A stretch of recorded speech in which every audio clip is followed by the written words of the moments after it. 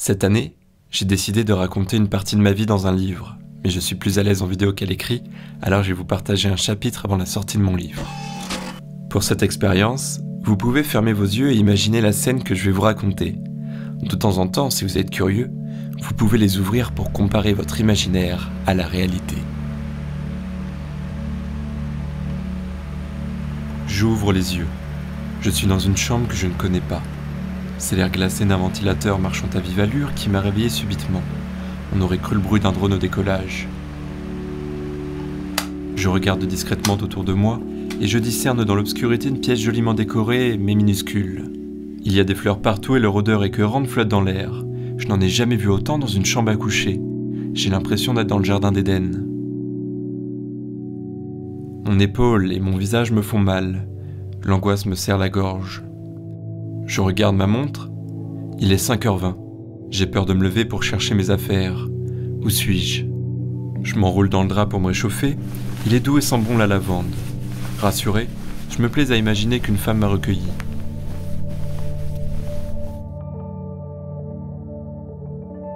La décoration et la taille de la chambre me font penser à une trentenaire célibataire. J'ai toujours aimé observer les détails des appartements de mes amis. J'ai la sensation de les découvrir plus intimement. Apaisé par le décor, je me rendors.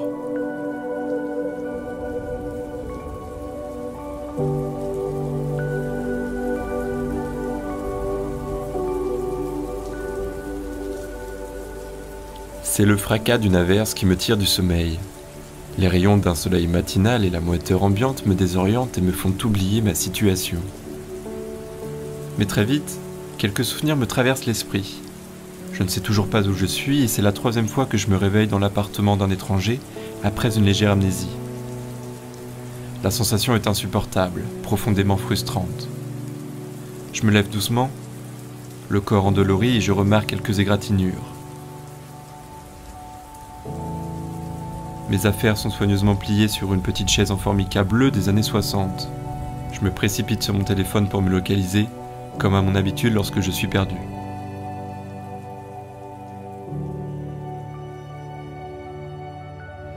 Ma localisation apparaît, un point bleu sur un écran bleu.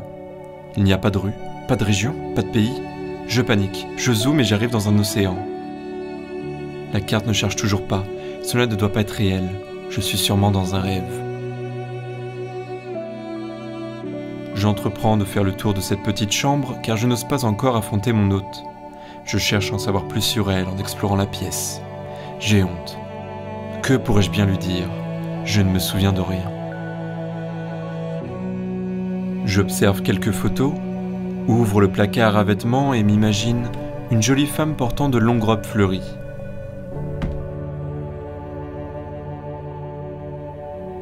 J'ouvre un tiroir et tombe sur deux sextoys.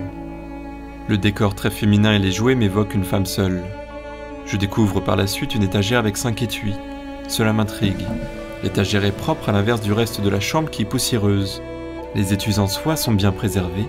Il y a quelque chose de lourd et mou à l'intérieur. J'essaie de contrôler ma curiosité mais rien à faire. Je plonge ma main dans un pochon en la retirant le plus vite possible. Une perruque? Je suis surpris et mal à l'aise. Mon hôte doit avoir un cancer. Je replace soigneusement la coiffe dans son étui en soie. Soudain, une voix d'homme résonne dans l'autre pièce. Il est réveillé, tu penses? Je suis intimidé.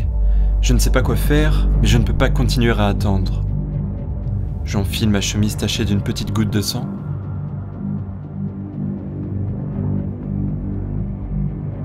Et j'ouvre la porte.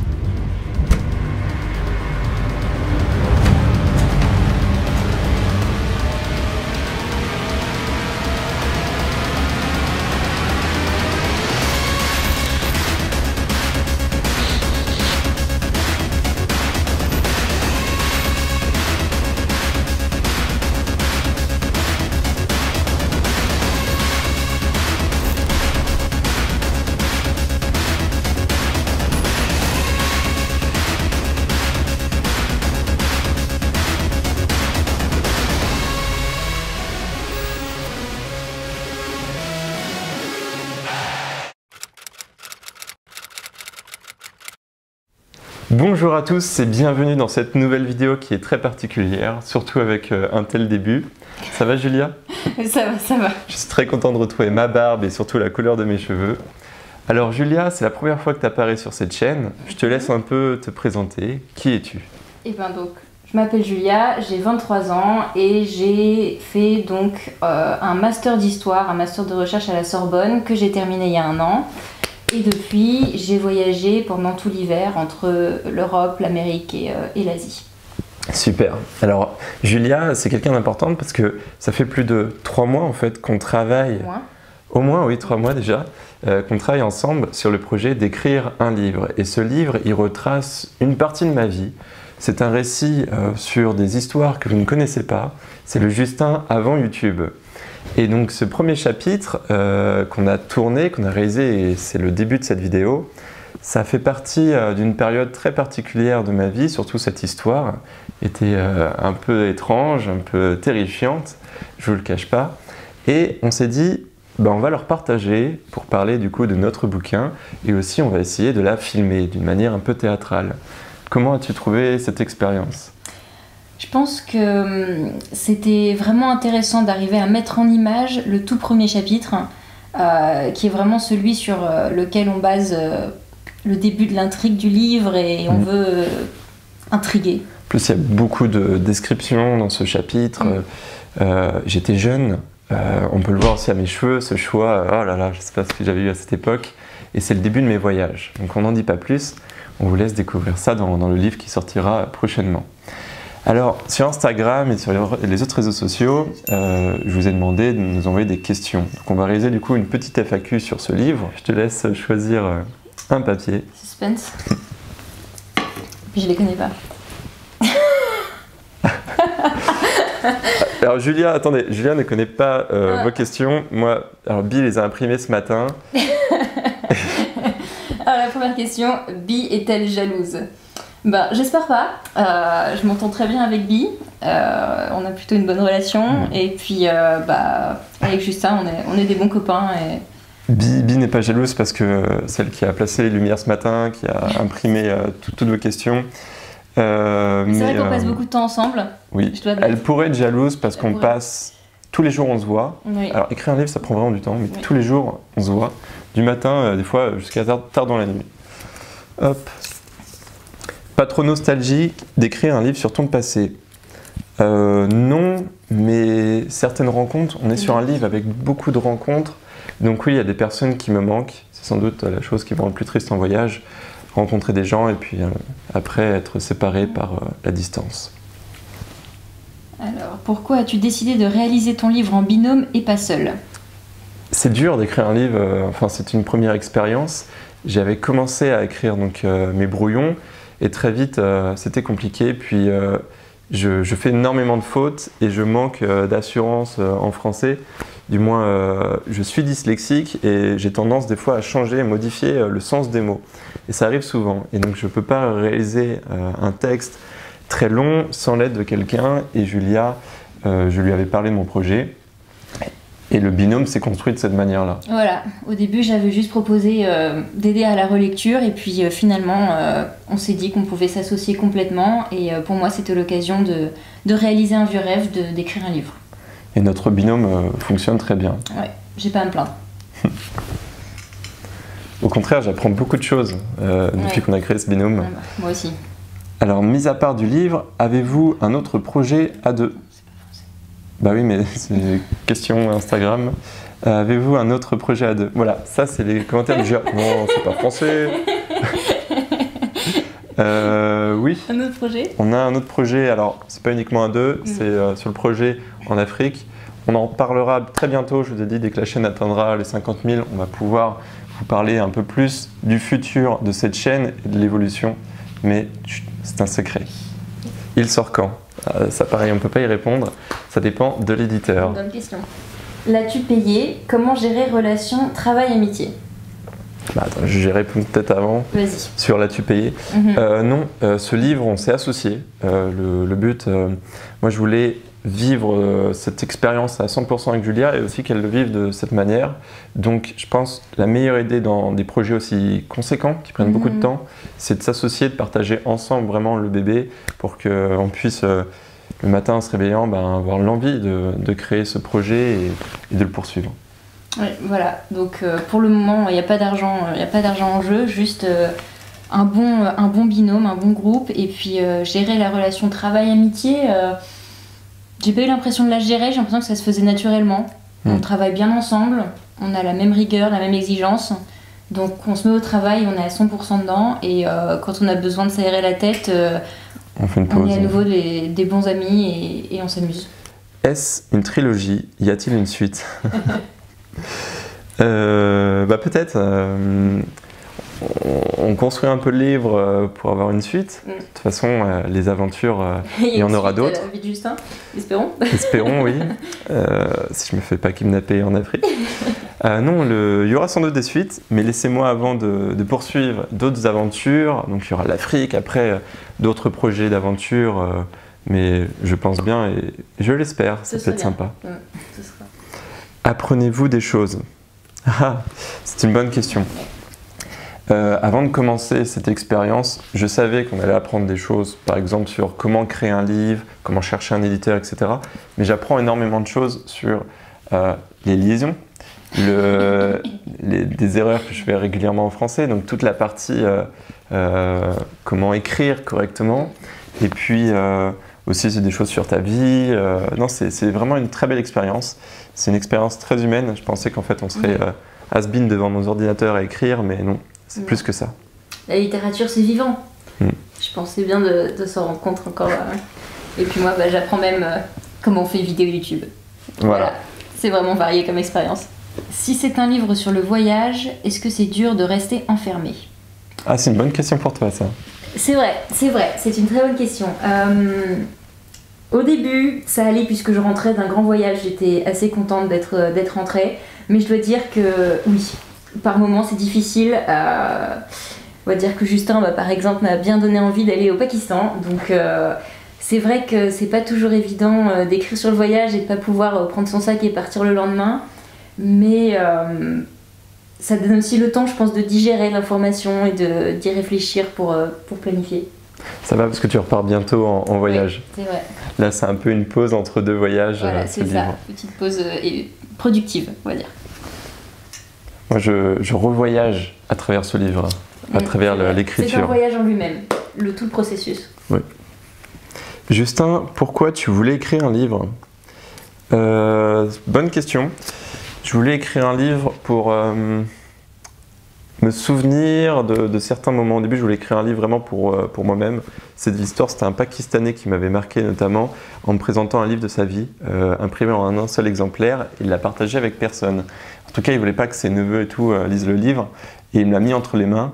Et j'ai lu quelques pages, j'ai adoré, et je me suis dit, waouh, il y a quand même un, un pouvoir derrière l'écriture, ce- le pouvoir de retranscrire des émotions qu'on ne peut pas retransmettre en vidéo par exemple, et surtout ben, rendre hommage à une partie de ma vie, mes premières aventures, et voir l'évolution euh, de cette vie.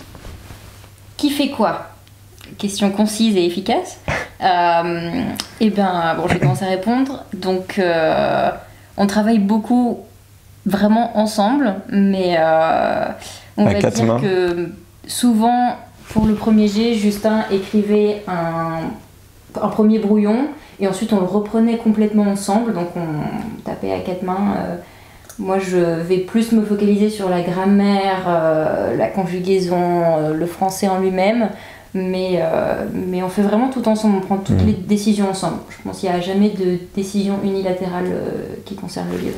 Le- Donc ouais, comme disait Julia, au début j'ai écrit le premier brouillon, mais ça vient très naturellement parce que c'est des histoires Mm. euh, qui se sont passées, donc j'ai juste à fermer mes yeux, regarder d'anciennes vidéos, parce qu'avant je filmais avant YouTube aussi, et, euh, ou des photos, me replonger. Après je partage euh, ça avec Julia, mais il y a un- un- une partie importante, c'est avant d'écrire le livre, on a pris presque un mois Oui. à tout détailler. Je lui ai raconté toute ma vie. Alors au début, c'était un peu compliqué parce que on n'a pas la même relation qu'aujourd'hui. Aujourd'hui, on est vraiment euh, de très bons amis. Avant, euh, j'étais vraiment intimidé de lui raconter certaines histoires. Et, euh, et ça m'a aidé en fait pour les écrire. Et après, tous les deux, tiens, comment, comment partager ce feeling, comment partager. Ensemble construire les chapitres et l'organisation du livre et, et décider ensemble comment. Avez-vous des moments de tension? Bon. Pour le moment, On peut se bagarrer sur un synonyme. voilà, je pense que les, les pires moments de tension ont été sur des synonymes où on n'était pas d'accord. Ou là, Où t'as envie de dire quelque chose de spécifique et j'aime pas trop la façon dont c'est tourné, donc Ouais. euh, voilà. Mais c'est pas, euh, en général, en 5 minutes, c'est réglé quoi. non, non, ça, ça. J'appellerais pas ça une tension, disons un léger désaccord. Puis t'es, quelqu'un de très facile aussi, donc c'est agréable. Tu comprends. Enfin, euh, peut-être les seules tensions, c'est sur l'imparfait et le Ah. présent. Oui, Ça, c'est compliqué dans ce livre parce qu'on veut vous faire sentir des histoires, on veut vous faire plonger dans le moment présent. Donc jongler des fois entre l'imparfait, enfin mais le en même passé, temps, ça s'est passé dans le passé, donc Voilà. parfois, euh, La concordance des temps, euh, ça c'est. ça c'est pas évident. Alors, vous vous connaissiez avant Euh, Est-ce qu'on y répond? Est-ce que oh là là là là là là là Ça fait quand même partie d'un truc important du livre. Disons qu'on se connaît depuis longtemps. On se connaît depuis longtemps, mais on se connaissait mal. Oui, mal. On, dit, on a appris à se connaître pour le livre en quelques semaines. Ou on peut dire aussi on se connaissait mais pas la bonne période. Peut-être, oui, c'est vrai. Voilà, on s'est retrouvés, euh, voilà, maintenant qu'il y a une bonne période pour nous deux, euh, pour ce projet, et Période compliquée. en express, même si on s'était déjà rencontrés. Puis j'ai épousé ta co-autrice. Alors, je sais qui a écrit cette question. Est-ce que tu sais? J'ai un petit doute. Tu dirais qui en terminant par son pseudo un peu euh, sans dire son prénom Je, je sais, je sais pas son pseudo. Si je te dis c'est un éco-aventurier, Oui. est-ce que tu dis oui ou Oui, pas oui, oui, je pense. Un indice, vous pouvez aller chercher sur euh, Instagram. C'est un éco-aventurier qui a fait beaucoup de projets. Là, il va réaliser euh, en catamaran une sorte de tour de France. Et un autre indice, euh, il essaye de passer des lois à l'Assemblée nationale pour interdire notamment le plastique dans les écoles. C'est un gars super. Ça veut dire qu'il faut que je le rencontre, Ah c'est ça oui, oui, euh, si tu veux. Julia, es-tu écrivaine Euh, Ben, maintenant je suis en train de le devenir, mais à l'origine, euh, j'oserais pas dire que je suis écrivaine. J'ai écrit un mémoire pour mes recherches, mais. euh, Son mémoire est vraiment impressionnant. D'ailleurs, c'était sur quoi? Oula, c'était sur les femmes blanches de la Réunion et de l'île Maurice au XVIIIe siècle. C'est un, un mémoire, mais le truc Si un est. jour vous voulez aller à la Sorbonne pour le consulter, vous êtes les bienvenus parce qu'il n'y a pas beaucoup de demandes. hein. Vous, vous pouvez aller voir ça du coup, euh, ou même en ligne, euh, le télécharger. Non, Euh, oui, on peut le demander en ligne euh, auprès de la Sorbonne. Le sujet est intéressant, mais surtout l'épaisseur du, mémoire, c'est dingue. Dernière question. Peut-on le précommander? Ah, c'est super de finir sur cette Ah question. ouais, nickel. Alors, pas encore, mais vous pouvez inscrire euh, votre email dans le lien qui se trouve dans la description de cette vidéo. Et en fait on va vous alerter, on va vous prévenir quand le livre va être disponible. Mais tous ceux qui vont rentrer euh, l'adresse email, on va pouvoir essayer de prévoir éventuellement un livre dédicacé ou euh, de vous l'envoyer en avant-première. Voilà, quelque chose. petite surprise. Donc, si ce projet qu'on partage avec Julia vous intéresse et de connaître euh, ben, le Justin avant YouTube, si on peut dire, ben, je vous invite à inscrire votre adresse email dans ce lien. Voilà, bah, c'était chouette. Oui, Ça va, t'as pas eu peur d'être euh, devant une caméra? Ça va, ça va, c'est une expérience euh, amusante. Ce sera Bon, prochain de la radio, euh, comme j'en avais un peu fait. J'espère que vous avez aimé cette vidéo et surtout euh, le début un peu théâtral. On se voit bah, dans une prochaine vidéo. Salut, à la prochaine